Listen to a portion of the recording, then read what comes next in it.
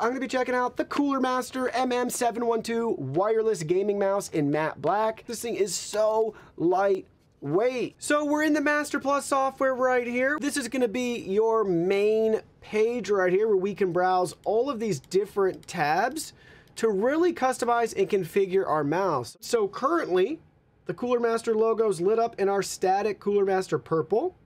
But let's change it. Take a look at that. All the colors there. It's very bright too.